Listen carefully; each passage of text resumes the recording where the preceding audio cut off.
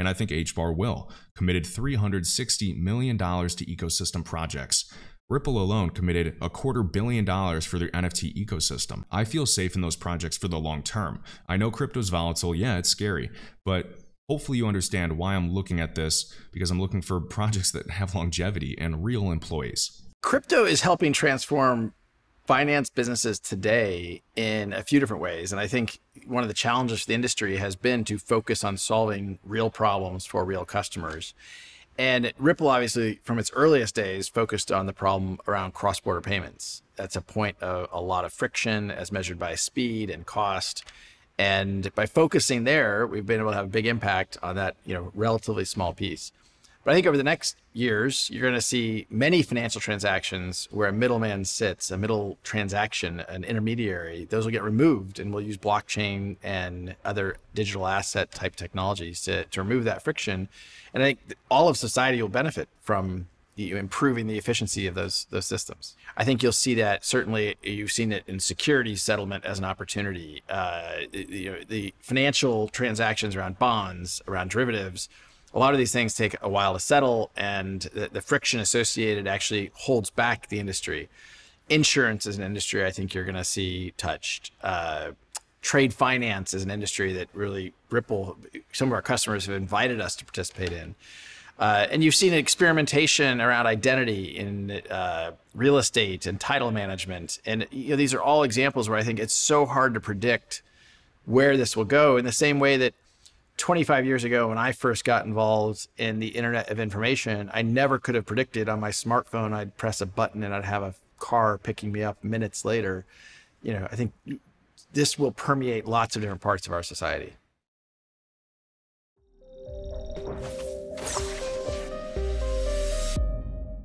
What's up guys, Kevin Cage here with another crypto update. Hope everybody's having an awesome day. In today's video, we're to dive into Algorand, Hedera, XRP, and Casper. We're to start off with the price charts, then we'll dive into some news for each of these altcoins. So first up, we have the Algo price chart on the left-hand side, and I've been waiting for Algo to go or just make a decision for four to five months. So personally, I've kind of just been a little quiet about it and just waiting for it because when we are up here at 41 cents, I thought that was when we were going to get the move up to 50 cents, a multi-year key level going back all the way to 2019, you know, 50 cents to 51 cent, that range all the way across right there is well resistance and I think I have a better picture to show you. Here's one that I posted on Twitter. So this is just a multi-year key level that Algorand has yet to tag. And we can see, I mean, ranging as low as like 27, 28 cents. And remember, XRP was at like 28 cents, went up to 50 cents plus. Casper was under 3 cents at like 2.8 cents, 2.5 cents, and went up to 5 cents plus. So I'm looking for a very similar move for Algo.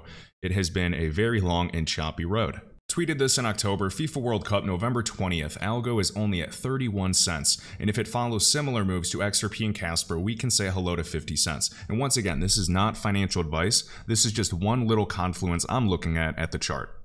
So I still believe that Algo and HBAR are laggards. It's going to be decision time. We're either going to make or break. And personally, Bitcoin has been ranging for hundreds of days. Bitcoin has two choices. We're either going to crash down to 14K and retest that level that has never really been tested yet again. And then I'll be buying some alts. And that's not financial advice. I'm only buying the ones that I have the highest level of conviction with, including Algo, HBAR, Casper, XRP. Those four at these prices are my biggest holdings. I love QNT. I'm wishing it well. I just don't want to buy anything after it's done a 5x. And I was snagging QNT at 3 to $5, so I'm just much more interested in some alts that have yet to really move. I know XRP and Casper got a little push up, and Algo and HBAR, Algo got a little one, HBAR hasn't done much. They both, all four of these assets, have gaps above and gaps below. So just to emphasize, QNT using the March-April high Fibonacci, and I know we've been doing this for months at this point, June, July, all the way since this low, drawing this fib and talking about different levels. And I had no idea that QNT was going first. I had no idea it was going to do this strong of a V-shaped recovery, to be clear. But we are doing this and drawing fibs since this low all the way back in June across the board for altcoins. So QNT was a leader. It bounced, went to the 382, back tested that wick, went all the way to the 1618 using the March-April high. We have XRP drawing the same fib. Remember, QNT hit this level back in July, the 382. XRP did not hit it until September and then again in October, so running months behind QNT. Then we took position in Casper, just buying, buying, buying. Crashes again, buying, buying, buying, holding. Got the push up to these wicks, just like XRP and QNT, right around that 382. So QNT wins in July, a couple months later, XRP wins in September, and then another month later, Casper wins. And so I'm just watching Algo and HBAR and scratch my head here. And looking at these levels, plotting the exact same Fibonacci March April high before capitulation to that June low for this year across the board. Remember, just once again, for anybody new, 382 hit, 382 hit the wicks, 382 hit these wicks as well. Comparing HBAR and Algo, I'm doing that. And that's not guaranteed. I'm just trying to find as much confluence as possible, guys. Once again, I will make mistakes. I don't know everything, and I'm learning right there with you. And I personally thought that algo back here was going to shoot up to that level. So I'm just showing you another confluence, and we do have dozens of altcoins that made it to the 382, the 50%, even the 702 Fibonacci retracement, whereas these assets are still relatively low. We can see algo is up about 44% from the June low of 27 cents. Now for HBAR, we can see the same thing. We have a wick all the way down at like 4.6 cents. That could absolutely get filled. This is a descending triangle. Typically, this is a very bearish pattern. But in my opinion, I'm at least hoping that we can get that push up, whereas other assets, I mean, even QNT, got a speculative pump all the way to the 1618, whereas XRP and Casper came from that low and came up to the 382. That would still be over a 100% move. And notice this wick right there on the 382. Algo has a wick right there on the 382.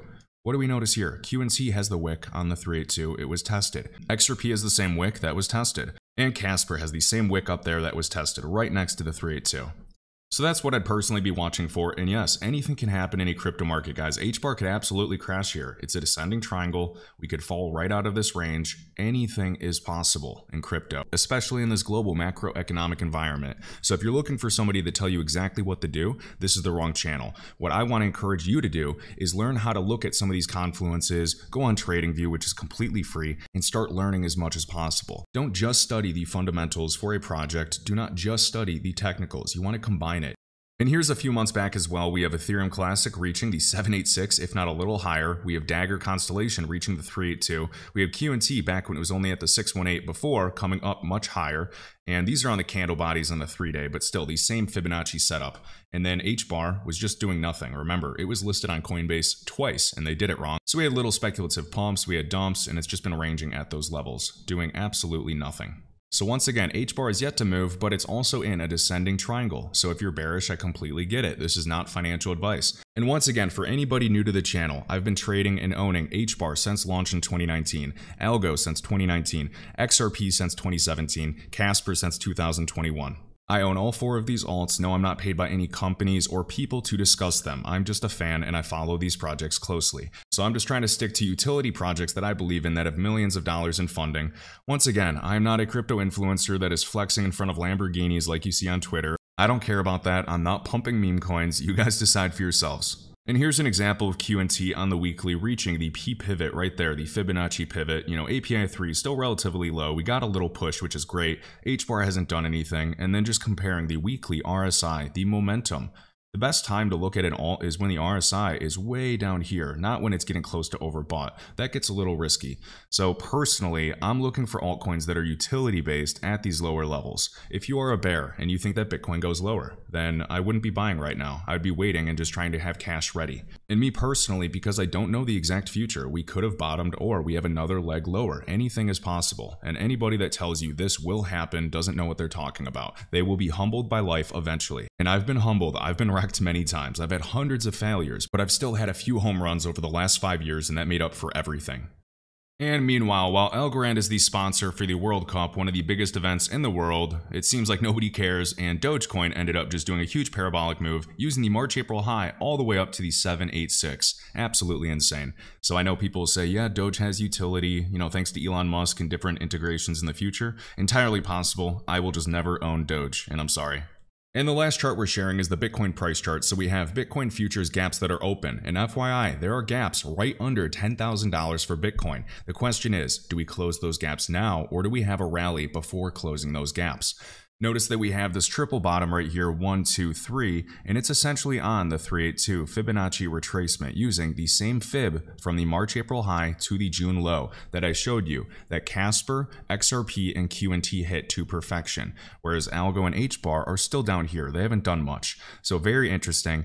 And with additional confluences, remember QNT hit the 1618, which is just nuts. And of course, with a smaller market cap and a smaller circulating supply, that made it very possible with a little volume, and we can see two open gaps on the Bitcoin CME futures that I've shared a few times on Twitter. And I just marked those gaps open for the Bitcoin CME futures chart. You can go on TradingView and type in the ticker BTC1 exclamation point. You'll see an open gap right around 28,000 along with 34,800. And also with Arrington XRP Capital, so I was watching an old video I did in 2019 going over some of his investments, and I saw Casper there. Um, it was a 2019 YouTube video. And remember, he was backing XRP Capital, Algorand, and Moonbeam. Now, Glimmer has dumped very hard. I talk about Glimmer, but I'm much more interested right now, right or wrong, with Casper, since it's been going for just over a year. Glimmer was distributed on every exchange in January. Now, I'm not bashing it, it's just still very early, and I want to make sure it's entirely out of its distribution phase before I take a position. It could be bottomed, but I don't know that. So, going over some of his portfolio on arringtoncapital.com, we'll click portfolio and we can see Casper should be here and LimeWire. Remember, LimeWire's on Algorand now, which is crazy. Tropy, Marlin, and Casper Labs. So some investments flop and some do very well. So of course, you know, seeing Casper on that back in 2019 and anybody that studied Ethereum back in the day or even in 2018 with that paper published going over Casper or the CBC specification. So that's one thing that Casper is actually trying to achieve on its own layer 1 instead of relying directly on Ethereum. So when you're looking at projects, be sure to check out some of their investors. I know that CoinMarketCap's not the best, but you can see some of their investors in different funds that backed them as well. Um, we know that Draper, Tim Draper, billionaire, backed Casper, also at the World Economic Forum. But when Casper is speaking at the World Economic Forum in Switzerland, and it is the only cryptocurrency acknowledged on IBM.com, I know IBM is on Hedera's governing council, but notice Casper is the only asset that got a special shout out from the VP of Blockchain Services right here, talking about Casper Labs and their partnership. And they demonstrated this at the World Economic Forum. Side by side, Kraken, the exchange, and Verizon, one of the global telecom companies. We have this group, I don't know how to pronounce it, I'm going to say Advasa right here, and this is actually based in Tokyo, will exhibit at Money 2020, the world's largest fintech conference in Vegas. And what's interesting is they partnered with US based partner IPWE, whose platform basis adopt on Casper blockchain will formally launch its groundbreaking EWA technology with the blockchain that is without sacrificing the essential components of usability, cost, decentralization, or security on the US market at Money 2020. We have the Casper Lab CTO and co-founder Medha Parlikar right here speaking at the LA Blockchain Summit discussing upgradable NFTs. You have Tim Draper, another billionaire, backing Casper right here at the LA Blockchain Summit. And also Scott Walker, who is an early Ethereum investor. And some of these founders and co founders, guys, were the first people in crypto, like mining Bitcoin early days, and here before even Ethereum was founded. So they're very smart people. And same goes for Vitalik or Charles Hoskinson. And remember this recent interview with Neve of Casper discussing millions of IPWE patents as NFTs are going to be minted and on the Casper network or Casper's blockchain. You can type in IPWE and Casper, read about some of their blogs as well, um, intellectual property and patents on Casper's blockchain. This is what I call actual utility and actual adoption, creating a chain of custody solution right here and battle testing it and making sure that it's built so that they can properly scale and put millions of more patents on top of Casper's blockchain. And guess what? Since they're NFTs, they can be upgradable. You cannot do that on Ethereum. So using blockchain technology, this enables traditional patents to be transacted. This could be licenses, sales, acquisitions, any type of intellectual property and empowers new classes of transactions that are not just monetary value transactions. This is reporting, financing, insurance, any type of message. So, this is one small reason why a lot of us get so hyped about blockchain because we see the possibility, because we understand that almost everything is a transaction. Now, based in Switzerland, Switzerland is a very regulatory friendly country, of course, and they've already declared XRP to not be a security connected to the Swiss Digital Exchange. And with the new upcoming Casper 2.0, the Zug protocol, think Zug Switzerland, will introduce a faster, more secure successor to the current Highway Consensus protocol. So, a few new features include reduced block time, increased throughput, stabilized gas fees with predictability, by the way, a simplified user interface with contracts that pay for themselves. Let me repeat that. Casper has contracts that can pay for themselves in much cleaner code, which will simplify future maintenance. And you can build on Casper with essentially any programming language rather than if you wanted to build on ETH or other networks, you might have to learn, you know, two or three programming languages. It makes it really hard and the barrier to entry is just too high for a normal developer that has mad skills to come and start building on blockchain. Casper is opening the door for millions of developers to come, and that will massively contribute to Web3 for enterprise use cases. Everybody hates on Ripple the company and XRP, but the thing is that Ripple, the company, is the one that's building the bridges and the financial infrastructure so that banks, FIs, money service businesses can use crypto with the Ripple Liquidity Hub. That is good for XRP, but guess what? That is good for Ethereum, Bitcoin, every single altcoin out there. They are building bridges to connect all of this, the legacy and the new. All right, rant over there. Really quick, shared by X underscore Anderson, a must follow in the crypto space on Twitter. I loved his blogs, especially in 2018, going over XRP.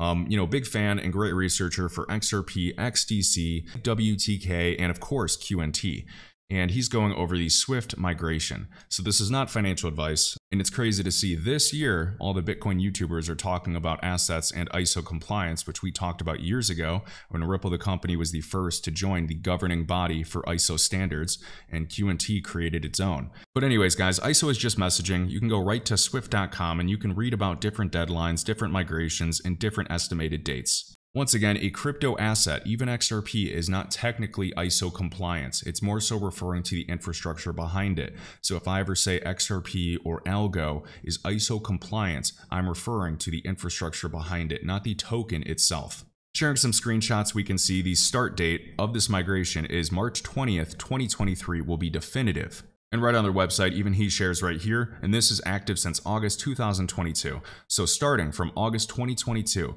on opt-in basis, you can join, but March 2023 for general availability. Now this is messaging, this is not settlement. Settlement is what we're interested in if you're, you know, speculating with XRP or other assets. But this is still a good thing. And we want interoperability, we want a similar standard across the board. So if they can work on messaging to have a similar standard, let's hope that we can work on the next level and maybe settlements technology having a similar standard. And don't just rely on me or any other silly YouTuber. You can go to swift.com, you can come up to standards and click the ISO standard and read more about it. You can see about ISO and get ready for this migration, even past webinars and the FAQ. Another example right here, we have Javier. So check this out, hybrid networks. And this is a video that was shared on YouTube, the new reality of interoperability between private and public networks. IBM and Casper Labs right here with permissioned and public chains to drive Web3 adoption, interoperability. Now, IBM is of course on Hedera's governing council. And Casper and Hedera are extremely legitimate. IBM partnering with a variety of groups, even, you know, Stellar back in the day. I'm just looking at all of these companies future proofing because they don't know the one winner or they don't know maybe the top 20 or 50 winners. So they want to look at all of the technology and do a variety of proof of concepts. And imagine a collaboration between these two, Casper and HBAR. I think that would be awesome. I was referencing Swirlds as well because they're down in this video. They're also a governing council member and a node that you can stake your HBAR to. And Hyperledger Foundation is freaking massive. Once again, you can just go through here. You can look at the group that was here before the Federal Reserve. You can look at a variety of central banks. You can see Deutsche Telekom and T-Mobile, Filecoin, Hedera, Casper Labs, R3, Quants, Ripple, Soramitsu, which actually, guess what, was on a document I saw in Casper's DeFi ecosystem. And it's so funny to see comments from people that know nothing about Casper, and yet Siemens, one of the largest companies in the world, was doing a hackathon with Casper's blockchain. Why? And remember, Verizon was side by side presenting with them at Davos. And maybe I'm just over speculating. You even have Energy Web. Remember that BlackRock, one of the biggest asset managers, actually shouted Energy Web out. IBM right there as well, JP Morgan, Boo. In the BSN, this is the blockchain based service network. You can see Hong Kong and China. I'd encourage you guys to look at the BSN and Casper Labs partnership, both on Hyperledger, and they actually minted their agreement as an NFT. BSN has deployed over 120 public city nodes across China, so Casper has ties in Southeast Asia. We have connections to Telangana throughout India. You have, of course, the UAE. We have the United States. I'm just very impressed, and of course, Switzerland, which you could consider all of Europe. As they shared, they're working with some of the largest European organizations, and Casper was chosen as the blockchain of choice for the city of Fuzhou in China. Notice, their service provider is the Blockchain Service Network. Next up with HBAR, friendly reminder, we had a few big things going on, and while Dogecoin does a multiple 100% move, we have HBAR doing nothing. We have a 583 plus billion dollar asset manager, Aberdeen, join Hedera's governing council. You can read more about that. We already did videos on that. We have HBAR with the Hatch Accelerator, with 20 startups building on top of Hedera. And I thought a long time ago when they announced the uh, DeFi Launchpad, there was going to be a lot of demand coming to Hedera with companies building on them. I still believe that, but man, it's taking a long time. Um, also, you know, the drone use case we've gone over as well, looking at air taxis and drones with the UK government building on Hedera and my neighbor's chihuahua is going crazy right now, so sorry for the noise. Um, total value locked. We'll go over this Hedera report. This is on, not DeFi Llama, oops. This is on Messari.io, the report State of Hedera Q3. The HBAR Foundation committed $360 million to ecosystem projects. So I know we're not happy about price performance. I'm not either. You know, I've been holding and stacking for a long time, for months, you know, four or five months, and we haven't done much. The fact that people are gambling on microcaps and they bash me for talking about HBAR Hopefully you understand why I'm supporting and looking at projects like this, because crypto's risky enough. I don't want to throw big money in something I don't think will survive, and I think HBAR will. Committed $360 million to ecosystem projects. Ripple alone committed a quarter billion dollars for their NFT ecosystem. I feel safe in those projects for the long term. I know crypto's volatile, yeah, it's scary, but hopefully you understand why I'm looking at this because I'm looking for projects that have longevity and real employees. Ended Q3 with $100 million in total value locked in the world of DeFi, so steady growth, and big shout out to Saucer Swap and other DEX.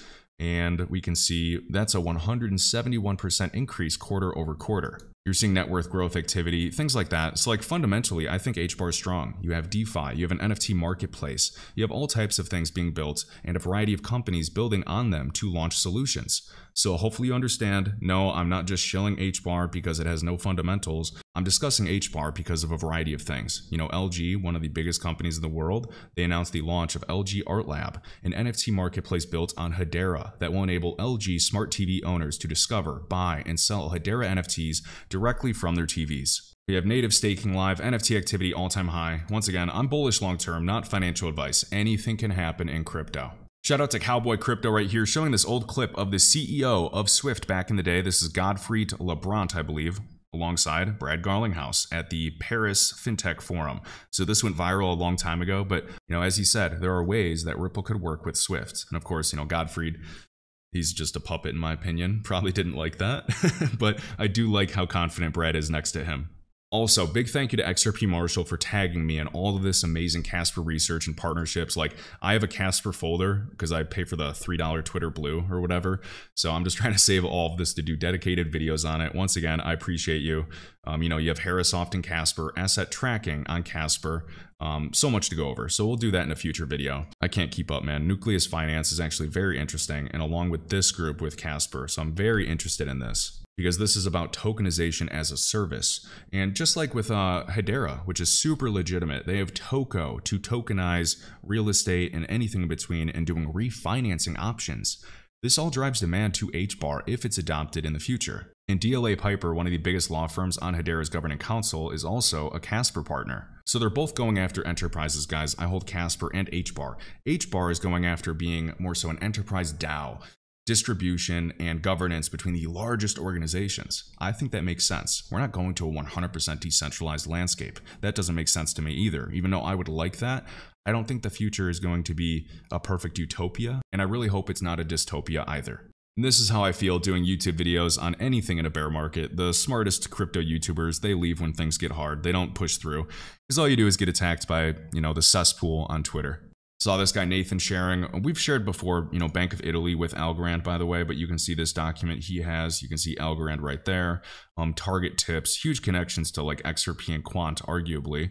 Um, so just wanted to show that. We have mentioned, you know, Bank of Italy mentioning Algo before. You can type in uh, Kevin Cage OMFIF or follow uh, Darren.algo. He's awesome in this community. I just kind of repost this from time to time just to show, you know, Algo was chosen by FIFA. They have central bank digital currency pilots backed by MIT, founded zero knowledge proofs um, on the DMI symposium with Ripple, Goldman Sachs, IBM, PayPal, um, the Swiss Digital Exchange, HSBC, and OMFIF on their website has Algo and Ripple. This is a $43 trillion think tank for the official monetary and financial institutions forum.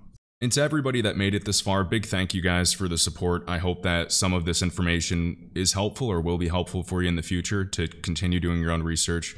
And I wanted to dedicate this video to my best friend Kurt. And on this day, four years ago, he hung himself and he was found three days later in his apartment. Definitely bringing back a lot of uh, flashbacks. So, you know, just wanted to say appreciate you guys. Wanted to dedicate this video to him. And he was one of the most empathetic, genuine people I've ever met. Um, he was still a goofball, don't get me wrong, but but he was a good person, and I know he touched a lot of lives. And I saw this on Instagram the other day. I don't talk much about it. Maybe I'll share some things on my Instagram story, but I uh, I kind of keep it quiet since you know I do videos on crypto. But if you guys are ever struggling, please reach out to somebody. You know, I've been through a lot too personally. I know we all have. And just as that fighter, Paddy Pimblett, said, I know I'd rather have my mate cry on my shoulder than go to his funeral next week.